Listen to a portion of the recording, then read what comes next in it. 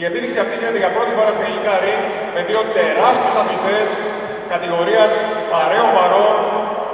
Πραγματικά αυτή η επίδειξη είναι μόνο για επίδειξη γιατί αν αυτοί οι αθλητές κάνουν μάχη θα είναι πραγματικά πολύ οδυνηροί. Ας υποδεχτούμε λοιπόν στην Ας υποδεχτούμε λοιπόν στην κόκκινη γωνία ένα αθλητή από το Diamond Cup, Ηλίας Παπακοσταντίνους. Αυτή η τεράστια λοιπόν κατηγορίας Βαρέου